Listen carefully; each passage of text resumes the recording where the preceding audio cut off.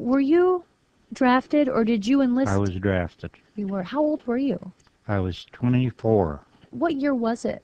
in 1942. So pretty early in the war. Yeah, yeah, I was one of the first ones in. What branch were you drafted into? Medical battalion. And where did you do your training? Did you do a lot of training in the States? Yeah, we trained for about two years before we went overseas. Yeah, pretty close to two years, I guess. What were you doing before you were drafted? I was a farmer. Oh, okay. So they drafted a farmer to be a medic. Yeah.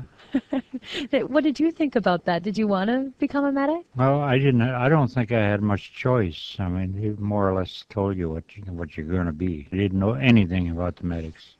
In fact, I didn't have much to do with the medics anyway. I was I was a a truck driver, so I didn't have metal or mess with medics at all. Uh, I was more or less hauling supplies and things like that. After your training, then, were you deployed to Germany?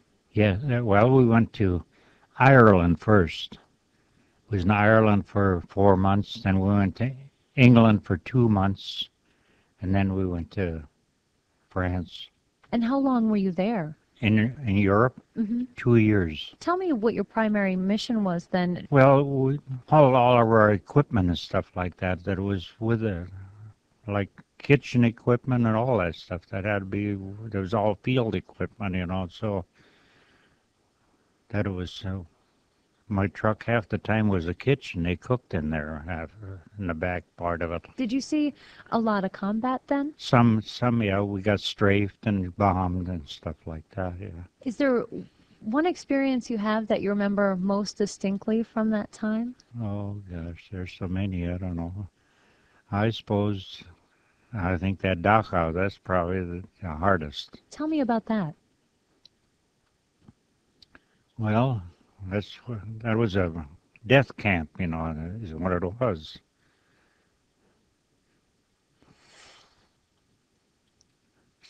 Tough. You were part of the soldiers that liberated that camp, is that right? Well, partly, yeah. The tanks went in first. They broke uh, broke in there, and uh, then we followed in. We were there for, I think, two days. Then we then we left, and that, that was a very bad sight. I mean, box cars full of uh, bodies and piles of bodies and everything else. And then, uh, well, then we moved out of there. And after the war was over, then they put us back in there, and we were in there, quarantined in there for seven, seven weeks. We worked, uh, cleaned it up. It was, it was bad. So for seven weeks, you were there cleaning up the bodies? Yeah. Cleaning up the bodies and cleaning up the the barracks that were were there. They were so messed up and everything that you know they just didn't do nothing with it. And uh, uh, they, they some of them came in and fed some of these. Uh, you know they they couldn't turn them loose. The ones that were in there because of kind of diseases and all that stuff. So they were fed in there, real light food because they couldn't even their stomachs couldn't stand here solid foods or anything. Did you talk to any of the prisoners? Did did they tell you how happy they were to see you? And Oh yeah, they were. Yeah, yeah, they were. We were not supposed to talk to them too much. Uh, fraternization was pretty pretty much uh, a no-no, you know, uh, especially to the enemy. We couldn't speak uh, at all to the enemy. Did the enemy help clean up the camp? Yeah, yeah. There was uh, another unit. I don't know what uh, what it was. They they used to bring in a whole, a whole bunch of German prisoners and uh, make them work in there. And uh, I I can speak German, so I was I was uh, selected to it. They split them up in, in small groups, you know, to work here and there, and and I had to go around and tell them what what to do. So that's what was my job more or less then when we were in there. How did that feel being in charge of the Germans? Pretty good. So after the the seven weeks, uh, where did you go from there? Then then we just shuttled back. Uh, with the, then they were getting us ready to go home. I can't remember just where we went from there. We moved around quite a bit, till they got us settled, uh, ready to go home. That was it. How excited were you at that time? Oh, yeah, pretty good. Mm. I imagine, especially coming from such a hard situation. Yeah. Well, I, I wasn't home for, I hadn't seen my parents or my brothers for two and a half years, so Is it hard for you still today? I mean, do you have a do you have a lot of thoughts of what you saw from the camp? Yep. I wake up at night. Have you found anything that that helps you through it at all? No, Mm. not really. I just kind of bear with it, I guess. Did you talk about it when you came home? No, initially? not much. No. No, I wanted to forget it. Do you still keep in touch with other soldiers who went no, into that? I, the last, my last buddy died about, what was it, three, four months ago in Inwood. Iowa. And we were together, and that was the last one. I don't know of anybody else, if there's anybody else living or not. In fact, there was nobody from South Dakota in, in our unit, and one from North Dakota, and he's dead. And I know that. I called it, and I got his son. and He's he's dead. So I guess I'm about the only one left. Did you have uh, a wife waiting for you at home at the time, No, or a girl no, at all? no.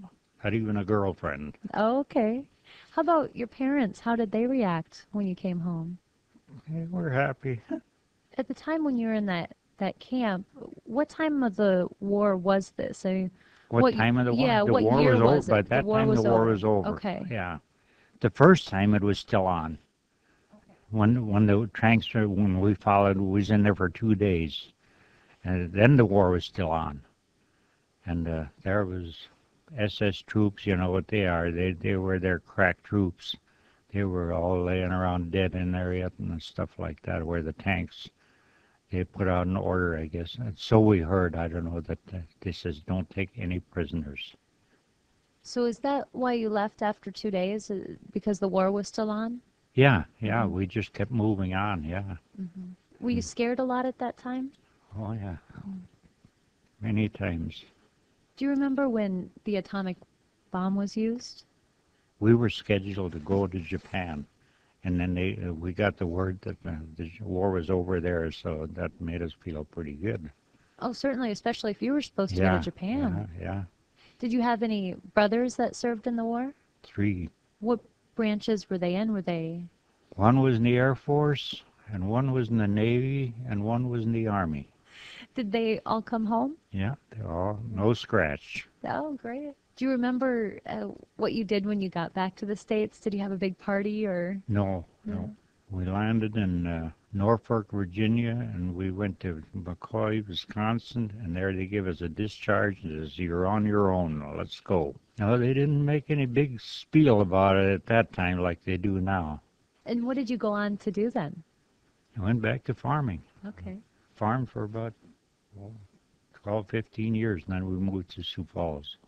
I, in the meantime, I got married and farmed for a few, few more years, and then I came to Sioux Falls. How was it adjusting back to a farm it was life? tough. Yeah. It was, and uh, I think for one reason, I stayed with my parents for a few years, and during the time I was in the service, they bought another farm quite a ways away, and that's where I went and stayed with them. And I didn't know anybody. All the people there were strange, so I really didn't come home. I think that was the worst part of it. When I came home, I, I didn't feel at home. For quite a while, it, it took me to adjust to that. I shouldn't say it, but I went into the liquor for a little bit. It helped you cope. Yeah. Mm. I imagine you saw some terrible things in that camp. Oh, that was terrible. Piles and piles of bodies, thousands of bodies, dead ones. The odor was so bad, you know, from the dead bodies laying around and the cremation that was going on, and they didn't take care of the ashes. They just elevated them out the back, and that's where they were. And that was, it was horrible. I'll, I'll show you them pictures when we mm-hmm. get through here. Did you stay and live at the camp for those seven weeks? Yeah. Yeah, and it was a separate part that we, we stayed in the part that where their guards used to stay, the SS troops. We we took that over and we that's where we stayed then. it was a different part of the camp, but it was divided, and we was in there. I'd imagine you could still smell Oh Yeah, yes, throughout it. Yeah, the SS soldiers. They were frantically trying to kill as many as possible, correct? yeah. They were Hitler's S uh, crack troops. They were murderers, what they were.